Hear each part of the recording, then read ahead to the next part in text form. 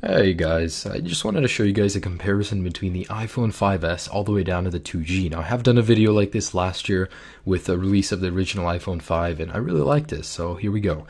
Now in advance I do apologize for the number of hands on the screen, I had to get some people to help me with this. But here is the original shutdown test on all devices. I'm to let go at the exact same time. So there it goes. Surprisingly, the 3GS was first, followed by the 3G, then the 4, and then the 2G. There's something about iOS 6 and lower that actually makes the shutdown time a lot faster than iOS 7, although all devices on iOS 7 shut down at the exact same time, which makes me think, what did they change? And in a second here they should all be turning off at the exact same time. Now while performing the boot up test I just want to let you guys know it's important to notice that from the 5S and to the 2G there's a massive difference in processing power and RAM obviously.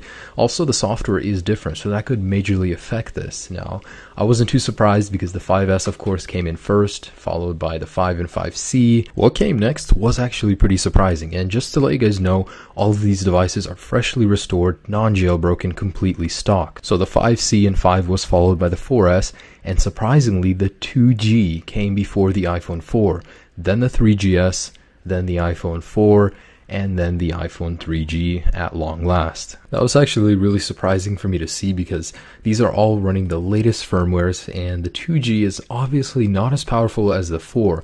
It's just the booting sequence and the way it works probably was changed in iOS 7 so that could be at fault. Now for the last couple of tests I'm going to load reddit.com and apple.com and the 5S is almost instantaneous thanks to the extra processing power and the new Wi-Fi capabilities. It's an amazing web browsing device and it goes downhill downhill from there to the 5C and so on. Just to confirm, all applications have been closed in the multitasking bar where applicable.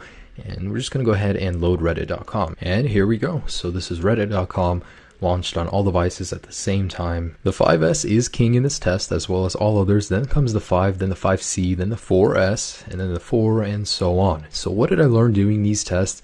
I learned that the amount of processing power is greater, of course, as the generation goes on, but it's marginally less noticeable the higher you go. So, if you have a 5, I wouldn't really recommend upgrading to a 5S just based on the fact that you want an extra little bit of power because it has an amazing amount of power as it is. If you're always upgrading to the latest and greatest just based on that little spike in power, you know, this video I just showed you guys that it isn't even that noticeable in your day-to-day use. So these videos I always enjoy making guys. I really hope you guys liked it as well. Have a great day guys. Peace.